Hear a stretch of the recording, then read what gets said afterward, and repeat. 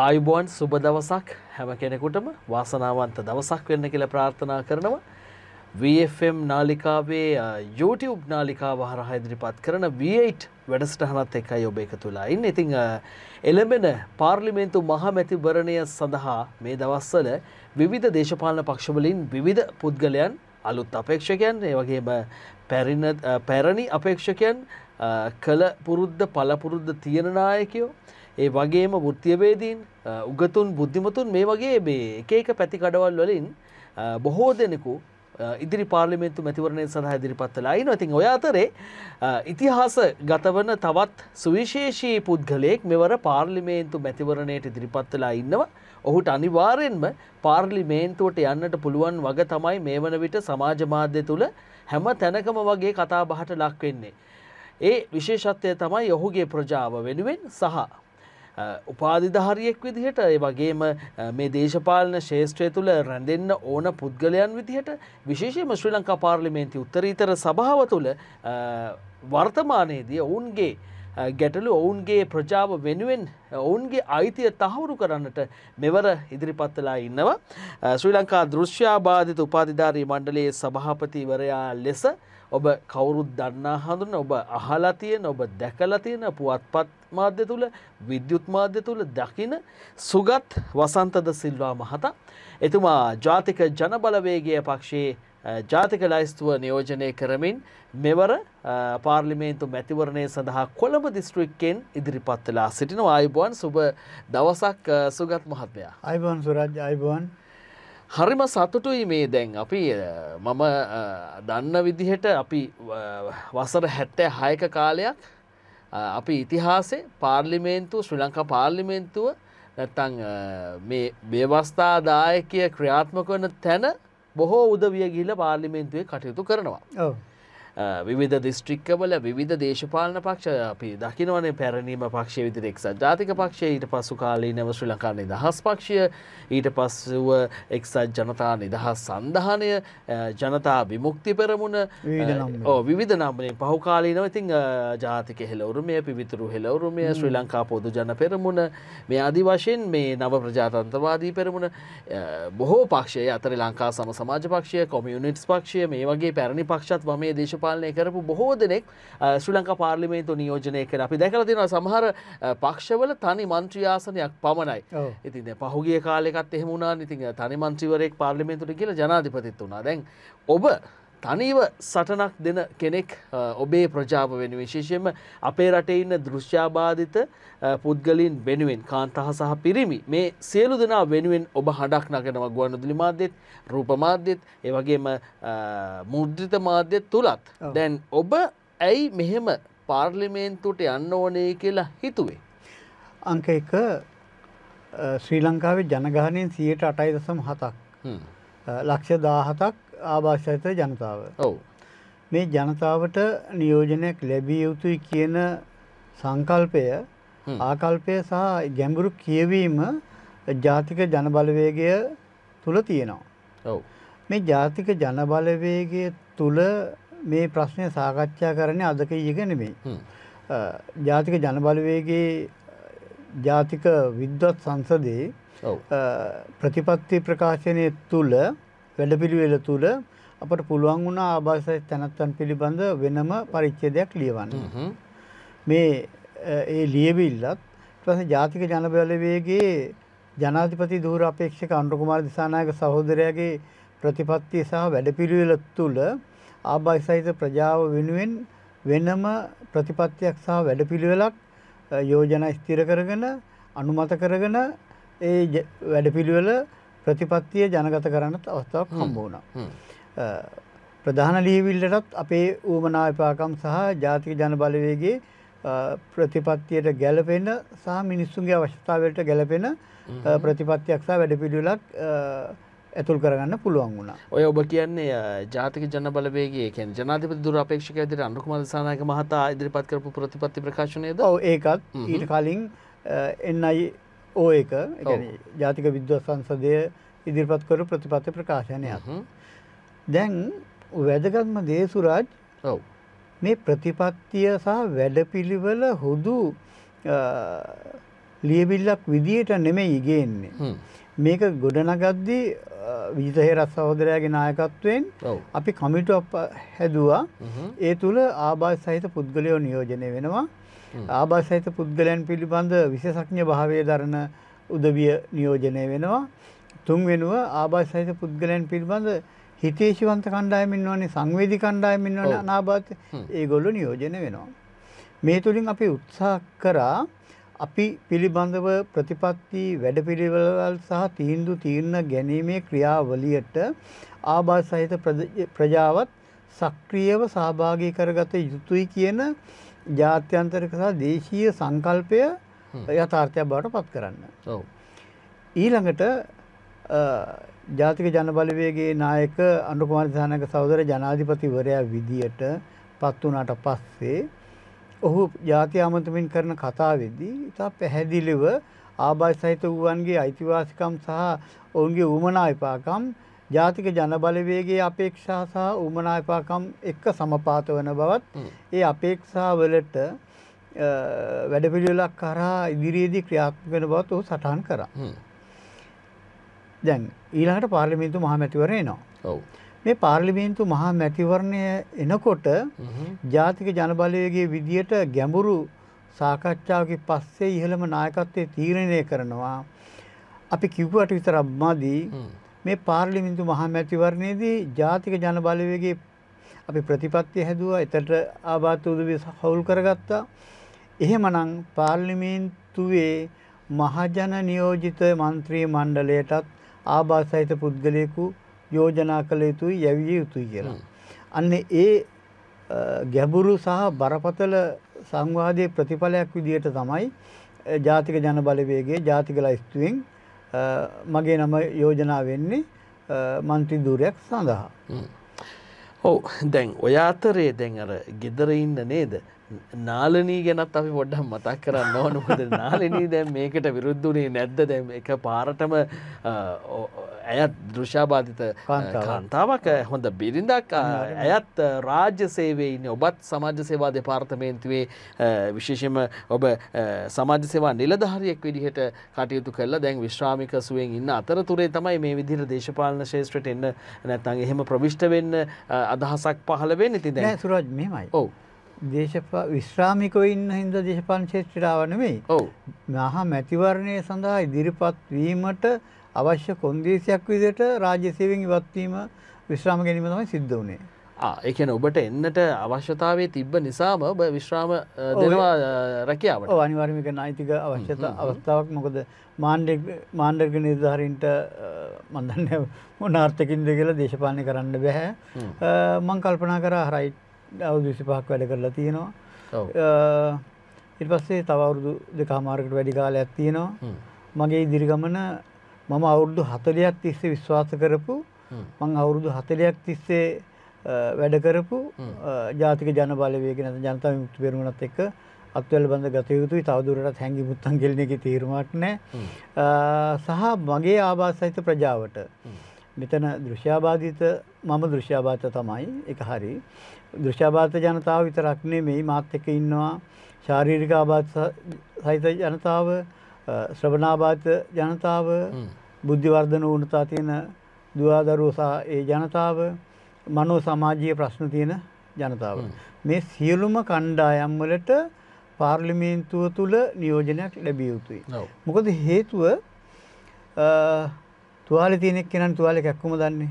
මං අවුරුදු 40 ගානක් දෘශ්‍යාබාධ පුද්ගලයෙක් විදිහට මේක මං වින්දිතයන්ගේ පාර්ශ්වයේ හිටියේ. හ්ම්. ඒකම ආබාධිත ශේෂ්ත්‍රයන් එක්ක වැඩ කරපු නිසා මට ඔවුන්ගේ දුක වේදනාව ගැඹුරු ප්‍රශ්න ඒව දැනගන්නවා. දැන් ඔය අපේ බිරිඳ ගැන කිව්වා. ඔව් මම මේ දැන් නැවතත් එන්න ගියේ දැන්. නාලනී කියන්නේ ඔබේ දයාබර බිරිඳ දෘශ්‍යාබාධ- කාන්තාවක් ඇය මේ වන විට අධ්‍යාපන සේවයේ නි- නිරතුව කටයුතු කරනවා. තවමත් ඉතින් දැන් ඇයගෙන් ලැබෙන ශක්තිය ඇයගෙන් ලැබෙන සහයෝගය මොන වගේද මේ කටයුත්තේදී ඔබ ගත්ත තීරණයත් එක්ක හරියටම හරි. මම මුලින්ම ඇහුවේ නාල්ලිගෙන් තමයි මෙන්න මෙහෙම යෝජනාවක් උඩට එනවා ඉස්මතු වෙනවා. නාලනී කියලා කතා කරන්නේ නේ. නාලිනී සහෝදරී කියලා කතා කළේ නේද? මම නාලිනී දෙවැනි සෞදරිකට පසේ නාලනී හා විරෝධය පල කර. මේ හෝටනගින්ට ලැස්තිෙන්ට එපා. මේ බිරිඳ කියන සහෝදරියත් එක බිරිඳ කතන්දර නෑ කියලා. නෑ හරි හොඳයි කාරණිකයි. මේ සහ මගේ සියලුම කාරණාවලදී ප්‍රබලත්තම විවේචන එන්නේ සුරජ්ම වFMගේ පෝග්‍රම් ඉවරලාගේ ටෙලිෆෝන් කොන් කරගව මුලිම කතාරණයා කියන අර සුරාජ් ජහප ප්‍රශ්නට ඔයා මෙහෙම නුත්තර දෙන්න තිබුණේ. ඇයි මෙහෙම? ඇයි වගේ යාගින් ඇහුව යකුවා ඔවු සුගත් ඒ හොඳ තීරණයක්. අපි වැඩේට බයිමු මුණ දෙමු. ලොකු බලාපොරොත්තු සහිත වනෙමෙයි හැබැයි මම කරපු දේශපාලනයයි මම කරපු ආබායි සහිත සංවිධාන ක්‍රියාදාමයයි එකට ගැට ගහලා ආබාධ්‍ය ව්‍යාපාරයට දේශපාලනින් අත්පත් විය යුතු දේවල් එකතු කර ගනිමින් දෙකම ශක්තිමත්ව කරගෙන යාමට ශක්තිය මාතුල තියෙන බව පැදිලි කරලා එයා එකඟ වුණා. එයාගේ අනුමැතිය ලැබුණට පස්මං අපේ සෞද ගැන මාත් අපේ පවුලේ අයියට සාමාල්ලට ඥාතින් කීප දෙනට කිව්වා. ඒගොලුත් ඔයා හැමදාම ඕකනි කරේ. ඕකයි මේක දෙකම එකට කරගෙන ඇන්ඩ ශක්තිවාට තියෙන පින් නෝගත් එක්ක. යාළු මිත්‍රයොත් එහෙමයි. ඉතිමං ගඟට බැස්සා. දැන් වැඩිම මනාප සංඛ්‍යාවක් මාලිමාවට නැතං ජාතික ජනබලවේගේ පක්ෂර කොළඹ දිස්ත්‍රික්කින් ලැබෙද්දි ඔබට ජාතික ලයිස්තුව නියෝජනය කරලා ඉහලින්ම පාර්ලිමේන්තුට යන්න අවස්ථාව තියෙන වගේ තමයි සමාජ මාධ්‍ය තුලත් කොතනත් කතා වෙන්නේ. මේ ගැන මොකද ඔබට හිතෙන්නේ? ඇතරම හරි සතුටුයි. ඉතිහාසේ ලාංකී ඉතිහාසය ප්‍රථමාර්ථ ආභාෂත්තයනත් එක් විදියට පාර්ලිමේන්තුව නියෝජනය කරන අවස්ථාවක් ලැබුණුත් එක ඉතාමත් හොඳ දෙයක් ඊටත් වැඩි වැදගත්ම දේ තමයි අපට පාර්ලිමේන්තු තුළ අප සම්බන්ධව තියෙන නීති නීතිරීති අනපනත් ප්‍රතිපාදන පිළිබඳ ප්‍රශ්න ගොඩක් විසඳගන්න බලාපොරොත්තුවත් තියෙනවා. ඒකට ඇත්තරම ආබාධයන් වෙනුවෙන් කතා කරන මන්ත්‍රීවරකුට වැඩිය ආබාධ සහිත තැනැත්තෙක්ම කතා කරන එක තමයි වැදගත්ම දේ මොකද බං කිව්වා වගේ ඔහුට තමයි වේදනාව කැක්කුම දැනෙන්නේ. මතන හොඳ අවස්ථාවක් දීලා දුන්න ජාතික ජන බලවේගය ඒක හුදු අවස්ථාවක් විතරක් නෙමෙයි. ඒ ප්‍රතිපත්ති මාලාව තුල ඉඳගෙන තමයි මට වැඩ කරන්න වෙන්නේ. ඒ වැඩ පිළිවෙලත් එක්ක සමගාමීව යන ගමන් තමයි මට වැඩ කරන්න වෙන්නේ. හැබැයි ප්‍රශ්නේ තියෙන්නේ ගැටලුවක් නැහැ මොකද ඒ ප්‍රතිපත්තිය හැදුවා අපි වැඩ පිළිවෙල හැදුවා අපි අපේ නියෝජනය සහිතව.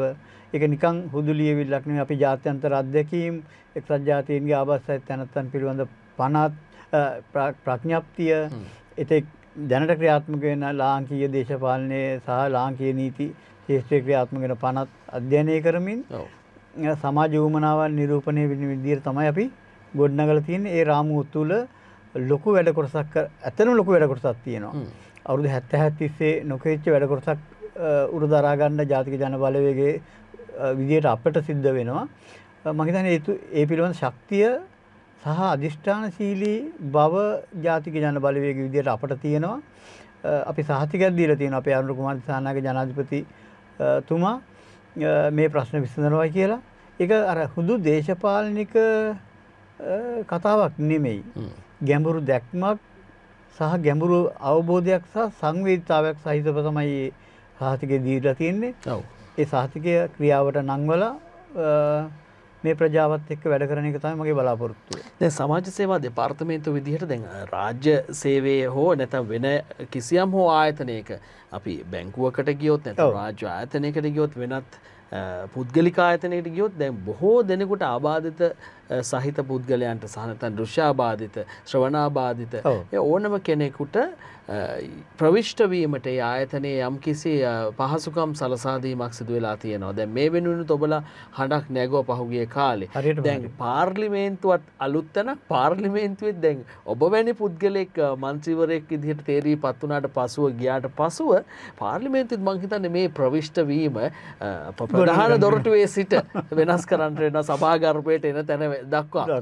දැන් මේ මේකෙදි ඔබ දරන මතය මොකද මේ පාර්ලිමේන්තුව තුල අපි දැකලා නෑ දැනට එහෙම ක්‍රියාදාමයක් තියෙනවා හැබැයි සමහර තැන්වලදි ප්‍රවිෂ්ටවීම් තියෙනවා සමහර අංශවලට යන සභාර සභාවාරවලට රෝධපුටු වලින් හ්ම්. තල්ලු කරකට මන්ත්‍රීවරයල අත්‍යවශ්‍ය ඡන්දවල දිරිපත් වෙනවා. ඉදිරිපත් වෙලා හැබැයි තියෙනවා. ඒක දන්නේ නැහැ. එහා කොහොම කෙරුණාද එක දන්නේ නැහැ අපි. හැබැයි පාර්ලිමේන්තුව උත්තරීතර ආයතනය නම්. සියලුම කණ්ඩායම් වලට ඊට ප්‍රවේශ- ප්‍රවේශ වීමේ අ, හැකියාව තියෙන්න ඒ ඕනේ. උත්තරීතර භාවය රැකෙන්න ඕනේ. රැකෙන්න නම් හැම පුද්ගලයෙකුම අනිවාර්යෙන්ම. හැම මන්ත්‍රීවරයෙකුගේම ඔව්සුරාජ් මේ ශ්‍රේෂ්ඨාධිකරණ තීන්දුව తీර- තීන්දුව තියෙනවානේ. ඒවා ක්‍රියාත්මක නොවන එක තමයි ප්‍රශ්නේ. ඔව්. අ, අපි ඒක ක්‍රියාත්මක කරගන්න ඕනේ. අනිතික මේ ජාතික ජන බලවේගයේ ප්‍රතිපත්ති ප්‍රකාශනය තුළ ගැඹුරු කාරණයක් හරි වැදගත්ම කාරණයක් ඇතුළත් කරනවා. මේ ආබාධිත තැනැත්තන්ගේ අවශ්‍යතා ඉෂ්ට සිද්ධ කිරීම සඳහා නිශ්චිත ප්‍රතිපාදනයක්. නිශ්චිත මූල්‍ය දැන් හැම ප්‍රශ්නෙම කියන්නේ කෝ අපට සල්ලි නැහැනේ. මේ පාරවල් හදන්න ඕගොල්ලන්ට ගැළපෙන විදිහට එහෙම කියලා බෑනේ සුරාජ්. දැන් මේ කබල් පාරේ මම මැරෙන්නකන් ගිහිල්ලා ඊළඟ ආබාධ්‍ය ඒ පාරෙම වැටි වැටි යන්න ඕනේ. හ්ම්. මේව හැදෙන්න එපයි. පාර හැදුනොත් සුරාජ් මටත් හොඳයි ආබාධ්‍ය නැති කෙනාටත් හොඳයි. ඔවුන් පදින වාහන වලටත් හොඳයි. ඔව්. ඒ තත්ත්වයට ගේන්න ඕනේ. අර මේ ඒ කියන්නේ යුනිවර්සල් ඩිසයින් වලින් ඒ කියන්නේ විශ්වීය මේ නිර්මාණ. නිර්මාණ වලින් දැන් ඒ පහසුකම් ගේනකොට සමස්ත සමාජයේ සියලුම කණ්ඩායම් වලට ප්‍රවේශය ලැබෙනවා. ඒ අතර අපිත් ඉන්නවා. අපිත් භුක්ති විඳිනවා. මොකද හේතුව අපි විශ්වාස කරන සුරාජ් ආබාධිත තැනැත්තා කියන්නේ අමුතු කෙනෙක් නෙමෙයි. ඔහු මේ මානව විවිධත්වයේ විචිත්‍රත්වය තහවුරු කරන.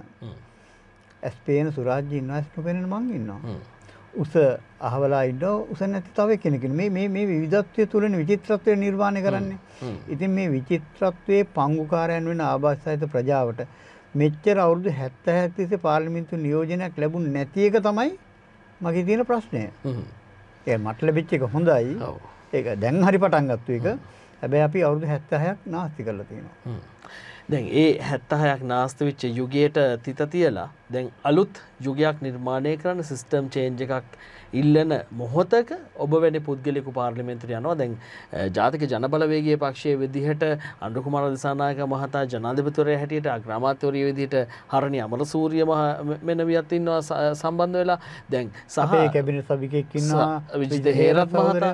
ඒ හැරුණාම ඔබලගේ දේශපාලන මණ්ඩලේ බ- සෑහන පිරිසක් ඉන්න හිටපු පාර්ලිමේන්තුවරු අත්දැකින් බහුල උදවියත් මේ අතර ඉන්නවා. ඉන්නවා, දැන් ඉන්නවා. ඔවුන්ගෙන් ඔබලට ලැබෙන ඔබතුමාට ලැබෙන සහයෝගය මොන වගේද මේක අනිවාර්යෙන් ඔබ පාර්ලිමේන්තුවේ සිටිය යුතුයි තැන ඉන්නවද ඔවුනුත් ඔව් එම ප්‍රශ්නයක් නැහැ.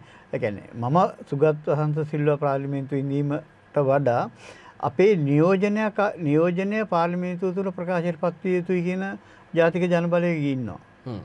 ඒගැන ඔබට අනිවාර්යෙන්ම පාර්ලිමේන්තු අසුනක් හිම කර ගැනීම අවස්ථාව තියෙනවා බලමු. අපට වැඩි කලක් නැහැනේ.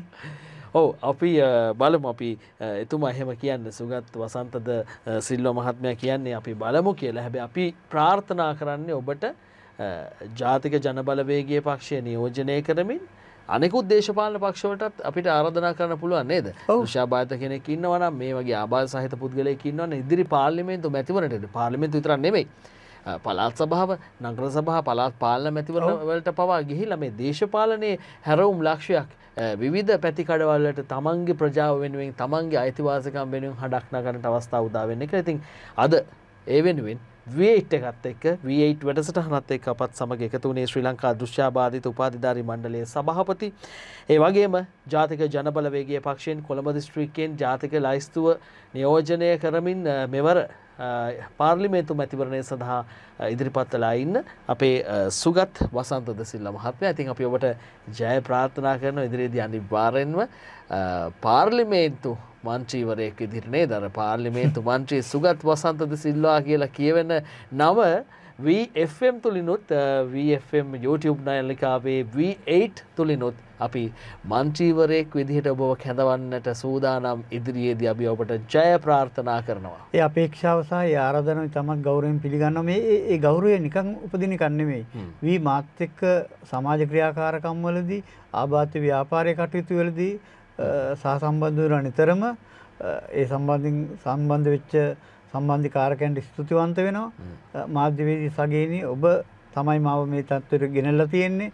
මගේ පක්ෂය ජාතික ජනබලවේගයේ ඉහළ නායකත්වයේ සිට සියලුම සහෝදරත්වය මේ මොහොතේ ඉතාමත් ගෞරවයෙන් සිහිපත් කරනවා. ඒක මගේ ආබාධ සහිත ජනතාවගේ අපේක්ෂාවන් බලාපොරොත්තු. ශක්ති ප්‍රමාණයෙන් ඉෂ්ට කරන්නත් ඊට වැඩිය අධිෂ්ඨානශීලී අධිෂ්ඨානශීලීව පක්ෂයේ අපේක්ෂාවන් ඉෂ්ට කරන්නත් අපි බලාපොරොත්තු වෙනවා. අපි හම්බෙමු මැතිවරණයෙන් පස්සේ. ජයග්‍රාහි අනාගතයකට ජයග්‍රාහි දවසකට අපි ඔහුට සමු දෙන්න අදට පාර්ලිමෙන්තු මන්ත්‍රීවරයෙකු ලෙසින් නැවතත් VFM රේඩියෝතුලිනුත් VFM V8 YouTube නාලිකා V8 වැඩසටහන් තුළිනුත් හමුවීමේ බලාපොරතින් එතෙක් ඔබට ජයග්‍රහහි සතුට පිරිච්ච සුබ අනාගතයක්.